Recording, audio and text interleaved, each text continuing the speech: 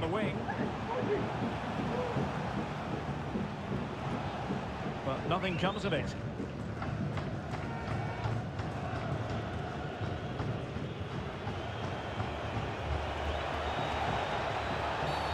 My goodness, it looked as though he was clean through.